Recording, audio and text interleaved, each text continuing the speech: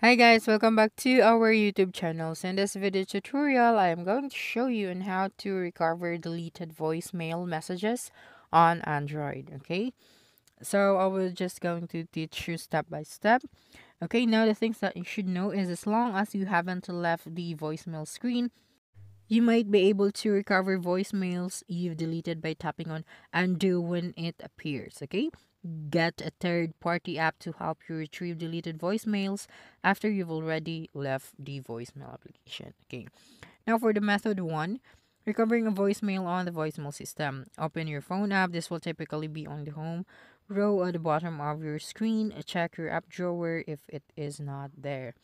Okay, now call the number for your voicemail system. This number will vary based on your provider and then you'll need to enter your voicemail password if prompted. You may need to contact your service provider if you can't remember your password. Okay, now listen to your new saved voicemails. New messages will usually play automatically, or you can press 1 to listen to your saved messages. Okay. Now press 7 to delete a voicemail. Okay, and then press 1 on the message playback menu. And then press 9 to check erase messages. Then press 9 to save the message to your voicemail box. If you already hung up, the only way to recover voicemail is to um, through third-party program. The next method is the undoing and accidental deletion.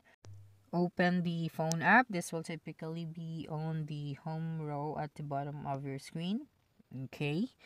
And then tap on the voicemail. This should be on the bottom left hand corner of the screen. Some devices will have the voicemail at as its own app. If this is the case then check your app drawer for voicemail. Now tap on a voicemail from the list then tap on the delete button. This will delete the voicemail. Okay and then tap on the undo on the pop-up screen at the bottom. You will only have a few seconds to do this so you will need to quickly tap on undo. Once the pop-up screen disappears there is no way to recover your voicemail without the use of third-party programs. Okay your device may also list this option as and delete. So that's it. Don't forget to subscribe to our youtube channel for more video tutorials in the future. Bye bye